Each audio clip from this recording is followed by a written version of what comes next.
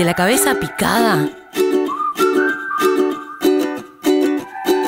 a la picada cordobesa. 30% de ahorro los viernes en gastronomía. Lo mejor está en Córdoba. Este verano voy con Cordobesa. Más info en bancor.com.ar. Hoy les propongo ir al Hospital Nacional de Clínicas, pero no como pacientes. Vamos a conocer los museos y una biblioteca que alberga este hospital. Comenzamos por el Museo en Ciencias de la Salud, que posee varias salas. Una de ellas recuerda los aportes fundantes a la cirugía del doctor Pablo Mirisi, instrumental médico que perteneció a cirujanos relevantes, mobiliario, numismática, también el primer libro de registro de pacientes, muy revelador de la época porque se indica edad, trabajo y nacionalidad. Ese primer paciente del Clínicas fue un español de 48 años, labrador, que consultó por problemas en sus ojos. El famoso pintor Guido Buffo realizaba los dibujos de partes del cuerpo humano para que estudiaran los jóvenes de medicina.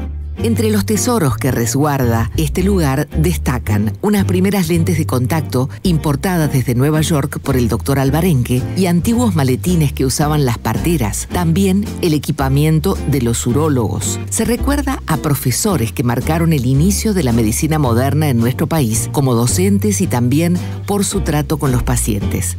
Pedro Vela, urólogo, Ernesto Romagosa, Humberto Dionisi, Manuel Vallas Carabajal, Juan Martín Allende, y también la primera y única mujer egresada de la Facultad de Ciencias Médicas en 1909, Margarita Satskin. Una rareza. Hoy, las mujeres representan el 73% de los inscriptos en la Facultad de Ciencias Médicas, cifra que no decrece y es tendencia. En los fondos del Clínicas y más cerca del río, está el Museo Pedro Ara. Recuerda al médico español que se hizo famoso en el mundo por su técnica para embalsamar y porque embalsamó el cadáver de Eva Perón. Pedro Ara también dio clases en la Facultad de Ciencias Médicas de Córdoba. Posee más de 1.200 preparaciones anatómicas y lo visitan estudiantes de medicina y secundarios.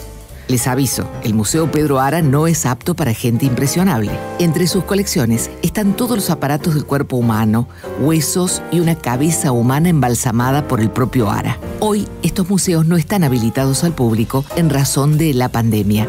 Se espera que pronto vuelvan a recibir visitantes. Soy Rebeca Bortoleto y te propongo ser turista en mi ciudad.